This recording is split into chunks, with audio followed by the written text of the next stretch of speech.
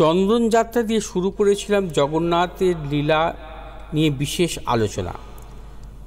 আগামীকাল জগন্নাথের স্থানযাত্রা তাই আবার ফিরে এলাম জগন্নাথ প্রসঙ্গে আধ্যাত্মিক আলোচনা নিয়ে।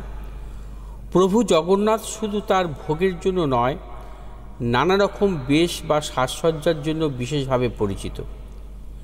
নানা সময়ে নানা বেশে সাজেন জগন্নাথের না, জগতের নাথ এবং প্রতিটি বেশে আছে আলাদা পরিচয়।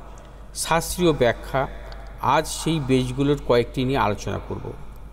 প্রাচীন গ্রন্থ মাদলা পাঞ্জিতে উল্লেখ আছে, চোদ্দোশো ষাট খ্রিস্টাব্দে উৎকলের গজপতি রাজা কপিলেন্দ্র দেব দাক্ষিণাত্যের এক রাজার বিরুদ্ধে ভীষণ যুদ্ধে অবতীর্ণ হন। দীর্ঘ সংগ্রামের পর কপিলেন্দ্র যুদ্ধে জয়লাভ করেন।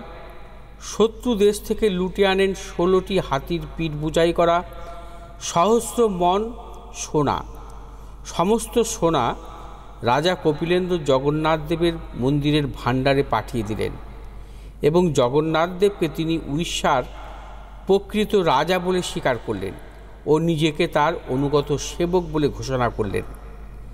একটি অনুষ্ঠানের মধ্য দিয়ে এই ক্ষমতা হস্তান্তর সর্বসাধারণের সম্মুখে উদযাপন করা হয়। এই সময় জগন্নাথের রাজবেশের প্রবর্তন হয়। সাধারণের কাছে এই বেশ আর একটি নাম আছে, বরা তাধাও বেশ। জগন্নাথ দেবের দৈনন্দিন জীবনে ব্যবহৃত বেশগুলির আলাদা নাম ও তাৎপর্য আছে। জগন্নাথ দেবকে পুরীতে সাধারণত দিনগুলোতে যে বেশে দেখা যায়, সেই বেশ পরিচিত সাদা বেশ নামে। এরপর রাতে যে বেশে জগন্নাথ বলরাম সুভদ্রাকে রাখা হয়, তার নাম বড় সিংহের বেশ। চন্দনলাগি বেশ শুরু হয় বৈশাখ জ্যৈষ্ঠের সময়। এই সময় ভগবানকে চন্দনের প্রলেপে রাখা হয় এবং বিয়াল্লিশ দিন ধরে চলে এই উৎসব। জগন্নাথ দেবের আরেকটি বিখ্যাত বেশ হলো হাতি বেশ বা গজবেশ হাতি বেশ রথযাত্রার আগে স্থানযাত্রার সময় দেখা যায়। এই সময় গণপতির বেশে জগন্নাথকে সাজানো হয় বলে নাম হাতি বেশ এই গজবেশের নেপথ্যে একটি ঐতিহাসিক ঘটনা আছে। বহু শতক আগে পুরী রাজার দরবারে এসেছিলেন পণ্ডিত গণেশ ভট্ট। রাজা তাকে জগন্নাথ দেবের স্থানযাত্রা দেখবার জন্য আহ্বান করেন।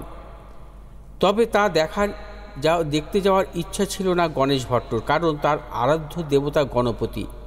স্বয়ং তিনি আর কারুর প্রতি আগ্রহ নন।